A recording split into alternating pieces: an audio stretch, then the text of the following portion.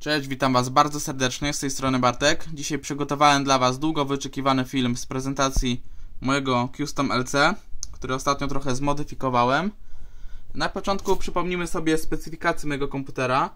Procesor to jest Intel Core i5-4690K, płyta główna MSI Z97 Gaming 5, pamięci 16 GB od HyperX'a, miałem wcześniej 4, teraz mam 16, dołożyłem dwie kości.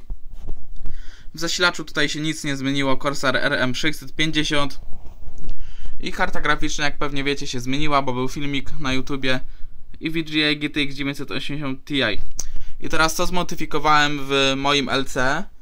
No po pierwsze tutaj się rzuca w oczy, że jest blok full cover na samą kartę graficzną razem z backplate'em od EK. Tak to się prezentuje. Yy, dołożyłem drugą chłodnicę, to jest EK XE240, to jest gruba chłodnica na 60 mm. Jest nowa pompka znacznie cichsza D5 od Alpha Kula. I doszły akrylowe rurki. O wiele lepiej to wygląda według mnie. Płyn zmieniłem także na pastel czerwony. Jak widać też fajnie to wygląda. A teraz chciałbym Wam puścić takie ujęcia z prezentacji LC i wyniki w temperaturach. Zapraszam.